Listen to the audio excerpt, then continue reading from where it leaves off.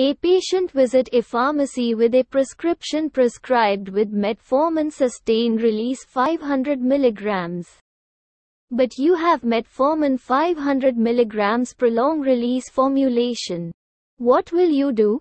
Do you know whether these two formulations are same or not? ऐसा भी कुछ रोग है जिसका पूरा इलाज नहीं होता इसलिए उन रोगों को मॉनिटर करना पड़ता है ज़्यादा दिन होने के कारण मरीज़ के लिए बहुत ही मुश्किल होता है दिन में तीन या चार बार दबाए लेना। इसे छुटकारा पाने के लिए दुनिया भर की वैज्ञानिक ने बनाया एक ऐसी दवाई जो इतनी बार लेने के बदले एक बार लेने से काम हो जाएगा। इसको मॉडिफाइड रिलीज़ डोसेज फॉर्म के नाम से जाना जाता है। Being a pharmacist you should know all types of modified dosage form लेकिन एक जैसा लगने के कारण बहुत भ्रम होता है। इसलिए हम एक कंफ्यूजन दूर करने के लिए मॉडिफाइड रिलीज़ दो सच फॉर्म के ऊपर एक वीडियो लेके आए। ध्यान से सुनिए पूरी जानकारी के लिए। मॉडिफाइड रिलीज़ डोसेज फॉर्म में ऐसा मैकेनिज्म डाला जाता है कि उसमें दवा का रिलीज़ संशोधित किया जाता है फॉर डिफरेंट पर्पस जैसे। उसका रिलीज़ देरी से हो, या उसकी एक्शन ज़्यादा देर तक रहे। या उसकी रिलीज एक स्पेशल टारगेट में हो या उसकी रिलीज कोई उत्तेजना द्वारा प्रभावित हो There are five types of modified release dosage form. They are delayed release, extended release, targeted release, disintegrating tablets and stimuli responsive release. Delayed release dosage forms deliver a drug with a delay after its administration.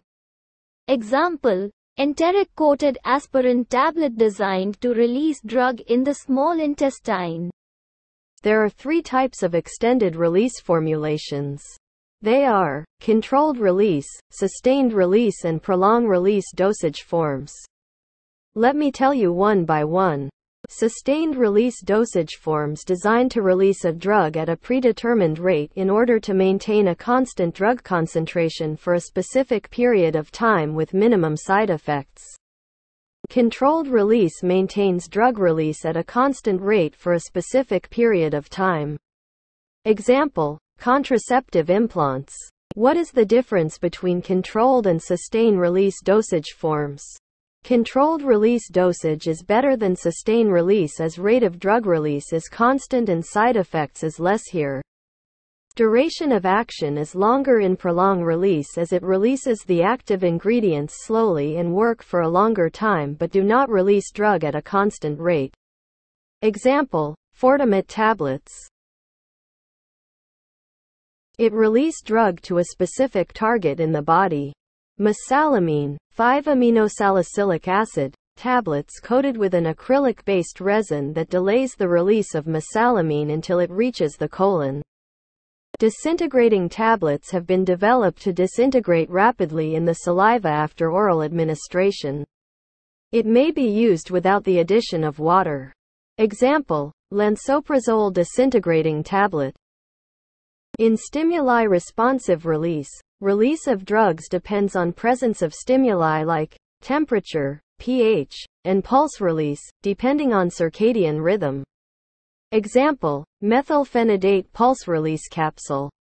Advantage of modified release dosage form over conventional dosage forms are possible to deliver drug to a desired target organ, less side effects, frequent administration is not required.